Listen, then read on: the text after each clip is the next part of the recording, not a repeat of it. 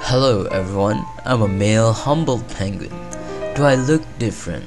That is because besides black and white color, I have another color which is yellow and around my face and feet as well as the underside of my wings I have pink splotchy spots. Amazing isn't it? I originated from Southeast America, a hot temperature country. It's unusual for a penguin, right? Fun fact, I love climbing and I'm excellent at it.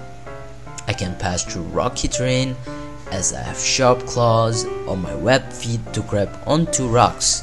Also, I can jump over the sea lion that are blocking my way. I may be small, but might.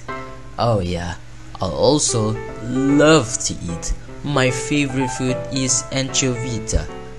I also love to eat crustacean and squid. Most penguins spend our adult life with our own mate. Doesn't that sound so romantic? I will create a special place for my mate to lay her eggs into deposit of dry guano left by seabirds. My mate and I take turns to nurture our young.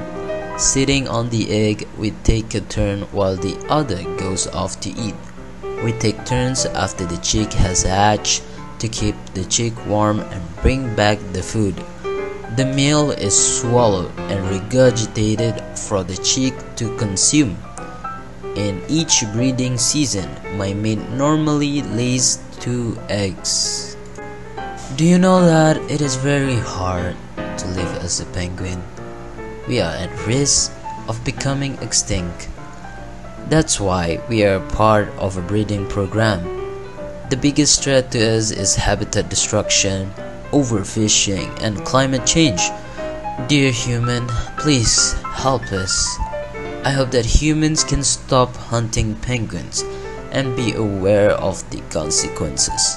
Fortunately, I am now living in Malaysia where you can adopt us through Zoo Negara to maintain our annual food enrichment and veterinary care.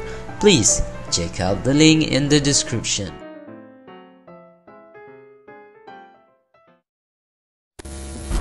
Many species, one planet, one future.